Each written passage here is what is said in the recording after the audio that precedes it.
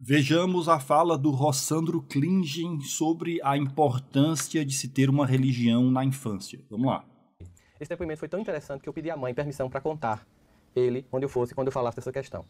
Ou seja, quando eu educo meu filho da melhor forma possível, eu garanto que ele vai ser um pleno homem de bem? Muito bem, então vocês já percebem isso. Aconteceu o seguinte, ela disse, esse seminário foram oito horas, né? Foram quatro, quatro horas de manhã e quatro horas da tarde, era para evangelizadores.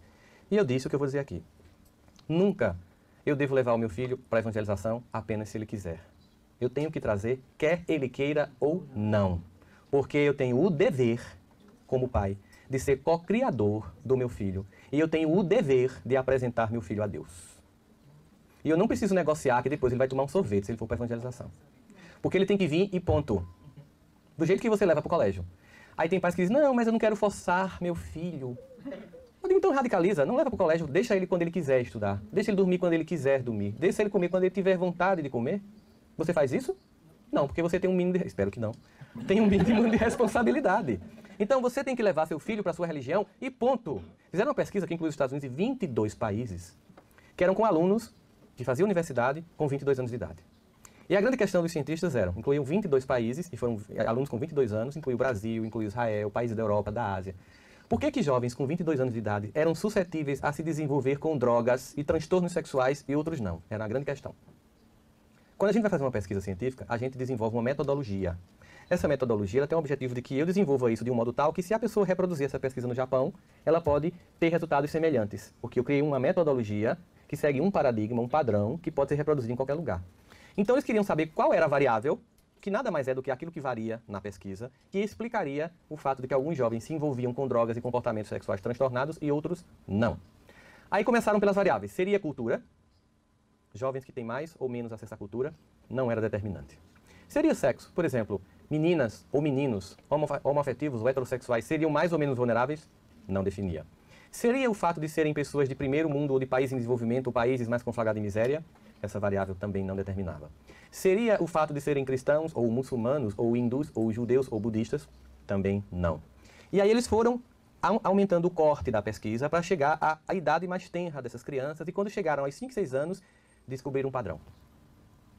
O que impressionou esses cientistas, porque vocês sabem que a maior parte dos nossos irmãos do mundo acadêmico tem uma tendência materialista muito forte. Porque o Deus que a eles é apresentado é tão Harry Potter que dá vontade de não acreditar, obviamente. E faça-se o sol, puxa de uma cartola, tá lá o sol. Aí uma pessoa que estuda ciência, que vai ver que não foi daquele jeito, não consegue acreditar. E aí eles começaram a se impactar, porque a descoberta tinha a ver com religião. Eles descobriram o seguinte, que todos os jovens que não estavam vulneráveis ao desenvolvimento com drogas e sexualidade desviante tinham um comportamento comum, independente de que país, de que cultura, de que religião, de que condição financeira. Eram jovens que, quando eram crianças, frequentavam com seus pais a sua igreja. Não importou se eram muçulmanos, budistas, hindus, judeus ou cristãos. O que era comum, essas crianças frequentaram na infância a religião dos seus pais. E o que impressionava os cientistas era como algo que é inculcado aos seis anos gera em você competência para enfrentar a tentação aos 22. Voltemos à questão 383. Por que passamos pela infância? Porque nós temos um período de tempo acessível para impressão de valores. Você imprime esses valores e quando o indivíduo sai de casa, porque os nossos filhos não são nossos filhos, como dizia Carlos Gibran. Quando ele sai de casa, ele foi vacinado. Ele é tentado, mas ele não cai. Aquele que não recebeu esta vacina de novos valores, ele é tentado e ele cai. Aí essa mãe deu o seguinte depoimento para mim. Você disse hoje de manhã que nós devíamos levar os nossos filhos para a evangelização à força, quer eles quisessem, quer não. E aí eu liguei hoje para o meu filho, porque eu sempre fiz isso.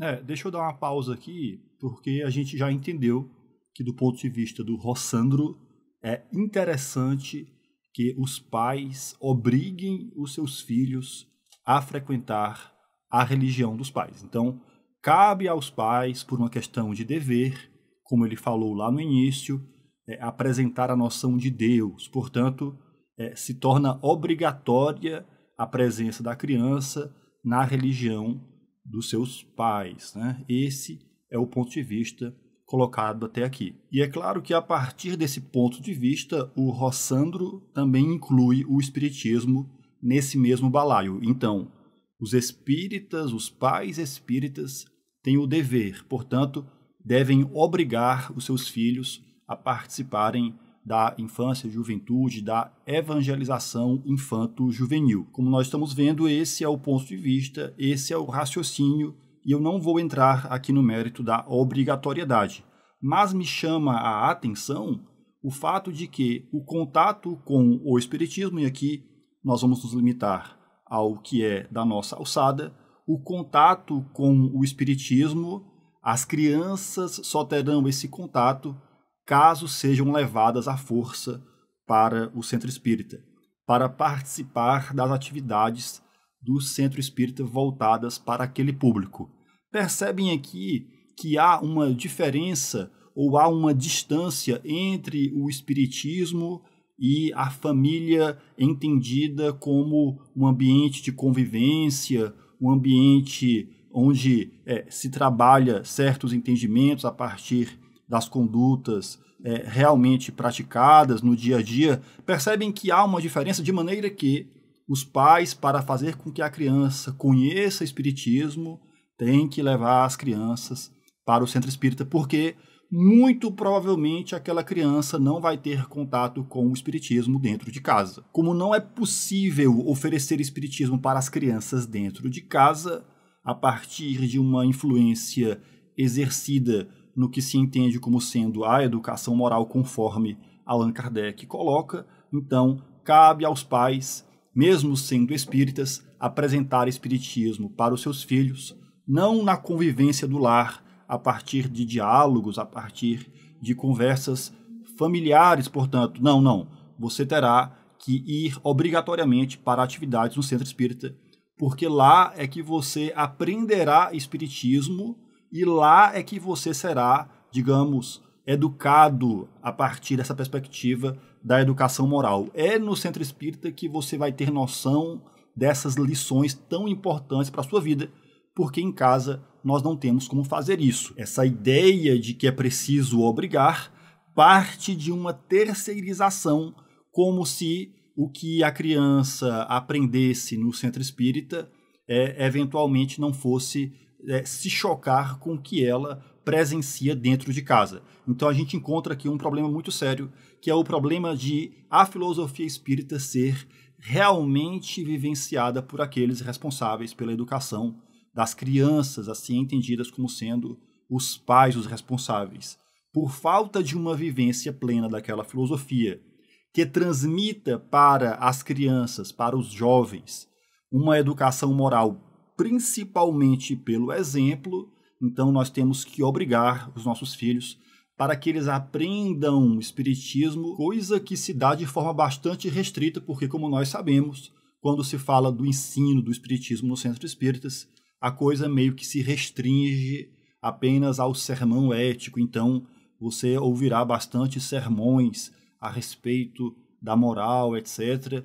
Isso com o objetivo de promover uma educação moral. E aí nós temos esse problema, como eu comentei, dessa distância. Portanto, eu aprenderei espiritismo enquanto criança porque meus pais é, me obrigaram, aprendi porque meus pais obrigaram eu frequentasse o centro espírita porque em casa eu não tive acesso nem do ponto de vista teórico a partir de estudos que, como Kardec coloca lá no capítulo do método, a forma mais, digamos, eficaz, mais eficiente de se transmitir o conhecimento espírita, muitas vezes, é a partir do diálogo simples, não necessariamente de um curso propriamente dito e tal, no qual você, pelo diálogo. Ora, qual o melhor espaço de convivência, qual o melhor espaço para o diálogo senão a convivência do lar, né? Então, não há isso, não há isso. E também não há nada relativo ao campo experimental, como também não será encontrado no centro espírita. O centro espírita não dará essa oportunidade para os jovens como Kardec coloca muitas vezes os benefícios das crianças,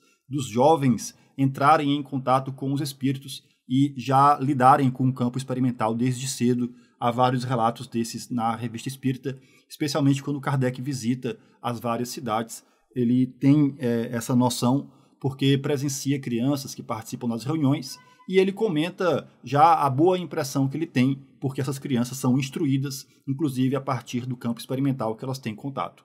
Então a gente observa aqui esse ponto de vista, que é interessante, nos leva a uma reflexão que de repente a gente pode aproveitar, tendo em vista aqueles que têm a oportunidade de conviver com crianças a partir da educação que podem proporcionar no ambiente do lar, pais ou responsáveis. É uma reflexão interessante.